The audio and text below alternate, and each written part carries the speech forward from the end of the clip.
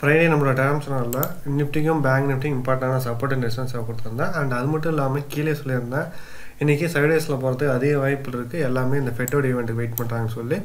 And இந்த ஃபெட்டோட ஈவெண்ட்டுக்கு தான் market வந்து வெயிட் பண்ணி சைடேஸாக போகுதுங்கிறது பாஸ்ட் டூ டேஸ் அதாவது நம்ம தேர்ஸ்டே அண்ட் ஃப்ரைடேவும் இதை தான் சொல்லிட்டு இருந்தோம். அண்ட் தேர்ஸ்டே அண்ட் ஃப்ரைடேவோட சார்ட்டை பார்த்தீங்கன்னாலும் உங்களுக்கு தெரியும். நிஃப்டிலையும் சைடேஸ் அதே மாதிரி பேங்க் நிஃப்டிலையும் சைடேஸ் அண்ட் பேங்க் நிஃப்டி பார்த்தீங்கன்னா ஃப்ரைடே வந்து ஃபஸ்ட்டு ஃபைவ் மினிட் அதாவது இப்போ நாங்கள் ஹைலைட் பண்ணிக்கிற இந்த கேண்டிலோடைய ஹை அண்ட் லோக்குள்ளே கம்ப்ளீட்டே ட்ரேட் ஆகிட்டாங்க ரொம்ப அல்ட்ரா ப்ரோ மேக்ஸ் ஐடர்ஸ் டேவாக தான் இருந்துச்சு. லாஸ்ட் டூ டேஸில் பெருசாக ஆப்ஷனல் பேஸ்க்கு எந்த ஒரு ஆப்பர்ச்சுனிட்டி கிடைக்கல. அண்டு இது தெரிஞ்சது தான். ஏன்னா இந்த ஈவெண்ட்டுக்காக தான் வெயிட் பண்ணுறாங்க கிளியரான டைரக்ஷனுக்கு வெயிட் பண்ணிட்டு இருந்தாங்க. அண்ட் அந்த ஈவெண்ட்டில் என்ன வந்திருக்குன்னா ஃபெட்டோட சேர்மன் ரேட் கட் பண்ணுறதுக்கு பாசிபிலிட்டிஸ் இருக்குன்னு சொல்லிட்டாங்க. ஸோ அதனால் ரொம்ப நாள் வெயிட் பண்ணிட்டு இருந்த ஒரு நியூஸ் கிடைச்சிருச்சு. அண்ட் மார்க்கெட் இந்த நியூஸை பாசிட்டிவாக எடுத்துக்கிட்டு மேலே ட்ரிகர் ஆகிருக்காங்க இப்பொழுதைக்கு கிஃப்ட் நிஃப்டி பார்த்தீங்கன்னா நம்ம இந்தியன் மார்க்கெட்டில் நிஃப்டி ஃபிஃப்டி ஒரு ஹண்ட்ரட் பாயிண்ட்ஸ் கேப் அப்போ ஓப்பன் ஆகிற மாதிரி இண்டிகேட் பண்ணுது. பட் மண்டே மார்க்கெட் எங்கே ஓப்பன் ஆக போகுது அண்ட் எப்படி ட்ரேட் பண்ண போகுதுங்கிறதையும் பார்க்கலாம். நான் மண்டே மார்னிங்கே வந்து உங்களுக்கு தனியாக ஒரு ப்ரீ மார்க்கெட் வீடியோவும் போகிறேன் கேப் அப் எந்த அளவுக்கு பெருசாக இருக்கோ அதுக்கு எப்படி ட்ரேட் பண்ணுங்கிறத.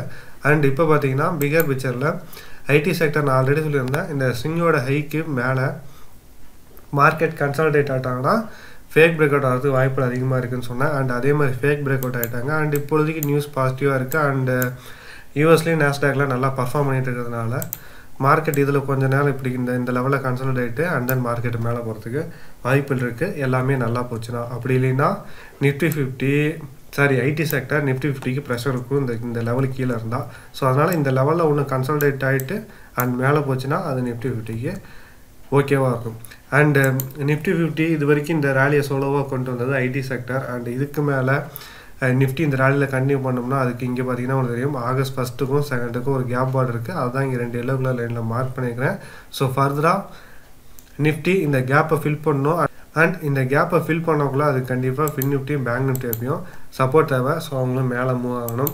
அண்ட் ஹெவிட் ஸ்டாக் அண்ட் ஹெச்டிஎஃப்சி பேங்க் பார்த்தீங்கன்னா ஸ்டில் அப்படியே சைடுவேஸில் தான் இருக்காங்க. இந்த ஜூலை ஆஃபில் இருந்து இப்போ வரைக்குமே பார்த்தீங்கன்னா சைடுவேஸில் தான் இருக்காங்க. பெருசாக எந்த ஒரு பிரேக் அவுட்டும் இல்லை. எந்த ஒரு ட்ரேடிங் பாயிண்ட் ஆஃப் வியூ இல்லை.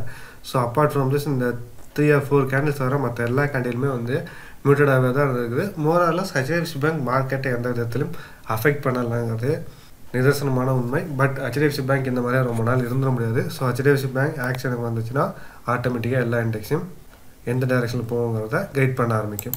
And fin Nifty so fin Nifty long weighted இந்த கேப்பை ஃபில் பண்ணிட்டாங்க. பட் இருந்தாலும் நான் ஆல்ரெடி சொல்லியிருந்தேன் இந்த செகண்ட் ஆகஸ்டோடைய லோ ரொம்ப இம்பார்ட்டன்ட் இந்த லோக்கு மேலே டெய்லி கேண்டிலில் ரெண்டு கேண்டில் க்ளோசிங் வச்சதுக்கப்புறம் தான் பாசிட்டிவ் டைரெக்ஷனில் இண்டெக்ஸ் சேஞ்ச் ஆகும்னு சொல்லியிருந்தேன். ஸோ ஸ்டில் நிஃப்டியில் அந்த மாதிரி எதுவுமே இல்லை. அண்ட் பேங்க் நிஃப்டி ஃப்ரைடே தான் கொஞ்சம் கேப்பே ஃபில் பண்ணாங்க. அது இந்த ஃபஸ்ட்டு ஃபைவ் மினிட் கேண்டிலோடைய இந்த வாலிட்டிஸ் உங்களுக்கு தான் அந்த கேப்பும் ஃபில் ஆச்சு. பட் இருந்தாலும் ஸ்டில் இந்த செகண்ட் ஆகஸ்டோடைய லோக்கு மேலே எந்த கேண்டிலுமே க்ளோசிங் வைக்கல. ஸோ டூ டெய்லி கேண்டில் இந்த கேண்டிலுக்கு மேலே க்ளோசிங் வச்சதுக்கப்புறம் மொமெண்டம் சேஞ்ச் ஆகிடும் அண்ட் சைடேஸ் ரேஞ்சை பிரேக் பண்ணி மேலே இருந்தாலும் ஸ்டில் பையஸ் அவனோட ஸ்ட்ரென்த்தை காட்டுறதுக்கு நிறைய ஆப்பர்ச்சுனிட்டி இருந்தும் இன்னும் காட்டலை. ஸோ நான் ஆல்ரெடி சொல்லியிருக்கிறேன் மார்க்கெட் இந்த மாதிரி இம்பார்ட்டன்ட் ரீஜனை பிரேக் பண்ணி மேலே போச்சுன்னா செல்லர்ஸ்லாம் என்ன பண்ணியிருப்பாங்க அவங்களோட ஸ்டாப் லாஸ் இந்த இடத்துல வச்சுருப்பாங்க. ஸோ அந்த மாதிரி அவங்களோட ஸ்டாப் லாஸ்லாம் ட்ரிகர் ஆகக்குள்ள இந்த இடத்துல ஒரு பெரிய கேண்டில் ஃபார்மாக இருந்துச்சுன்னா ஓகே பையர்ஸ் அவங்களோட ஸ்ட்ரென்த்தை கட்டிட்டாங்க. And then market step by ஸ்டெப்பாக மேலே போகணும்னு எதிர்பார்க்கலாம் பட் இதே இடத்துல கன்சால்டேட் கூட தான் பையர்ஸ் அவங்களோட ஸ்ட்ரென்த்தை இன்னும் காட்டலங்கிறது நல்லாவே தெரிய வருது.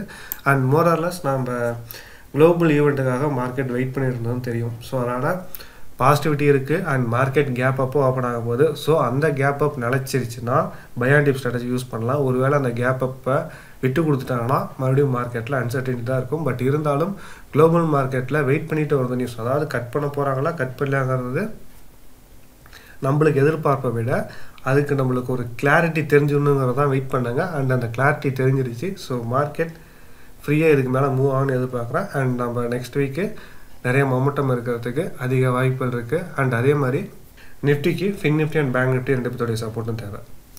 தேங்க்ஸ் ஃபார் வாட்சிங் மற்றபடி சந்திப்போம். மகிழ்ச்சி.